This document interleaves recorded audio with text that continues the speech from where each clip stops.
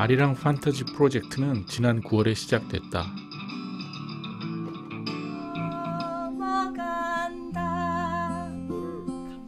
감정을 세계 각국 사람들이 아리랑을 부르고 그렇게 녹음된 소리들을 모아서 하나의 합창곡으로 만드는 프로젝트다.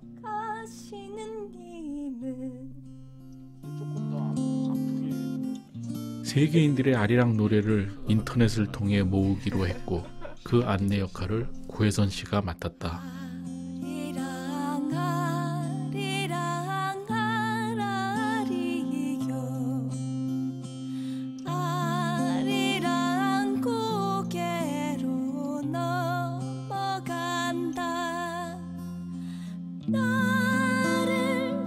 아리랑이 주제곡이 된 건 쉽게 따라 부를 수 있는 곡조라는 점, 그리고 편안하면서 부드럽다는 점 때문이다.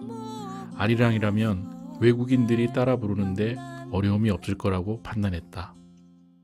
멜로디를 익히고 녹음을 할 때쯤이면은 결코 이 곡이 다른 나라에 좀 우리가 생각할 때 아 이건 외국의 곡이다라는 그런 느낌이 없을 것 같습니다.